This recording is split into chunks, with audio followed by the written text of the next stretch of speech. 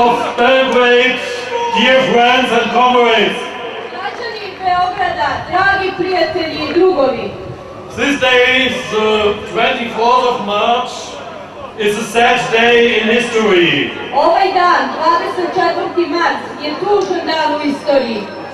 Not only in the history of Serbia and all Yugoslav citizens, but in the history of Europe, the history of international law, a sad day for all progressive and peace-loving people in the world.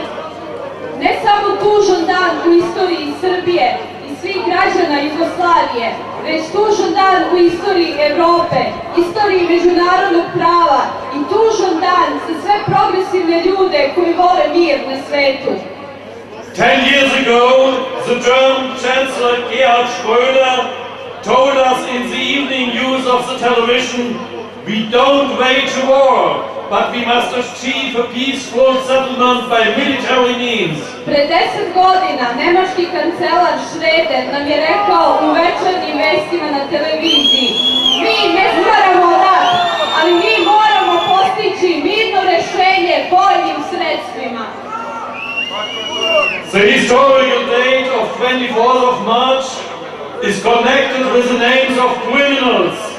The former German Foreign Minister Genscher, the Polish Pope, Wesley Clark, Javier Solana, Jamie Shea, Tony Blair, D'Alema, Aznar, Jacques Chirac, Schröder, Fischer, Scharping, Bill Clinton and Madeleine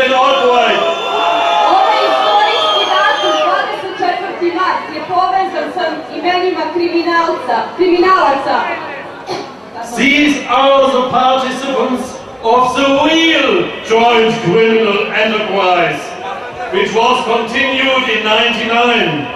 Ovo su učesnici pravog zajedničkog zločinačkog poduhvata koji je završen, u stvari traje od 1999. On the opposite side fought the victims, the real patriots, supported by the international anti-war movement. And in those days we shouted, we shouted, we are all Yugoslavs, we are all Serbs, we are citizens of Belgrade.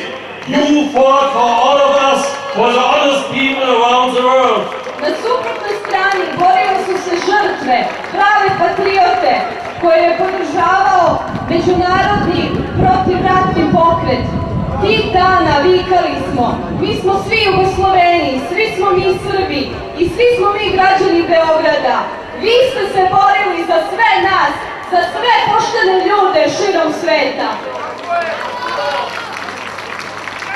In these days, the, the nation united behind his famous leader Slobodan Milosevic.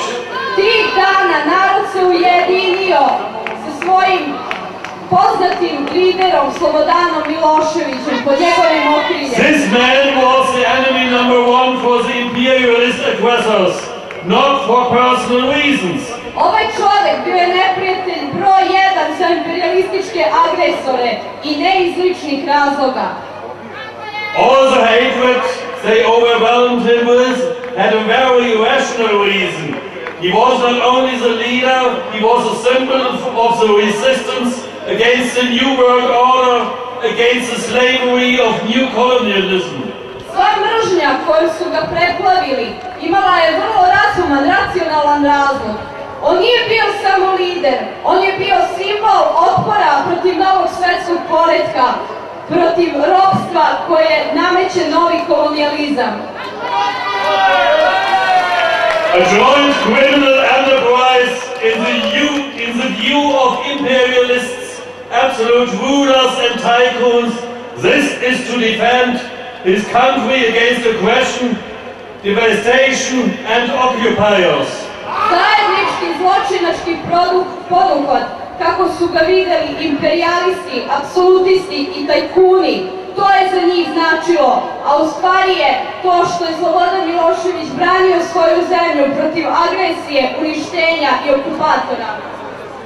Action of German Foreign Minister Klaus Kinkel, the Serbs must be brought on their knees is still in force, it is the task of the so-called Hague Tribunal.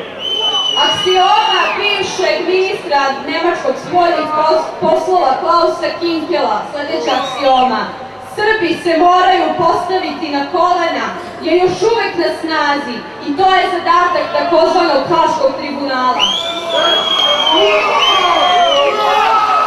task is to legitimize, is to legitimize the aggression, the eclatant breach of international law, to protect NATO interests in the Balkans, to confirm their lies, their anti, their resist anti-Serb campaign, their brainwashing, and to assure that the Serbs remain on their knees they will never stand up. Zadaci Haškog tribunala su da se legitimizuje agresija, ovo e, svetlo, odnosno eklatantno jasno lomljenje i rušenje međunarodnog prava, zatim da se zaštite interesi NATO na Balkanu i zatim da potvrde njihove laži i njihovu rasističku antisrpsku kampanju, njihovo ispiranje mozga i da osiguraju da Srbi ostanu na svojim kolenima i da se više nikada ne podignu. The NATO aggression didn't end after 78 days of bombing. Ali NATO agresija se nije završila posle 78 dana bombardovanja. During the bombing campaign, the headquarters of Radio Televizija Serbia was hit in the center of the town. 16 people were killed, 130 wounded, but those responsible for the NATO air attack were pers- but not they were persecuted for this war crime, but the victims on this one-sided war were held responsible. On pressure of NATO governments, the new Serbian puppet regime indicted and convicted Dragoljub Miljanovic, director of RTS, at the, time, at the time of the bombing for not taking warning serious. Tokom NATO-ve kampanje bombardovanja, e, bombardovana je i uništena zgrada radio televizije Srbije u centru grada.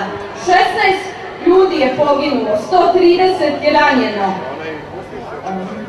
Ali nisu, za to nisu odgovarali oni koji su u stvari pokrenuli ovaj napad i koji su ubili ove ljude, nego su za to proganjane žrtve ovog jednostranog rata i one su smatrane odgovornim. Pod pritiskom NATO vlada, nova srpska marionetska vlast je, osudila Dragoljuba Milanovića, direktora radio televizije Srbije za vreme bombardovanja, zato što navodno nije njihovo upozorevanja da će bombardovati RTS shvati ozbiljno. The profoundly inhuman and ruthless forces of the West forces the puppet regime even to overturn the conviction of Belgrade District Court against the leaders of NATO countries. On the other hand, they should extradite the leaders of patriotic resistance to the war enemy.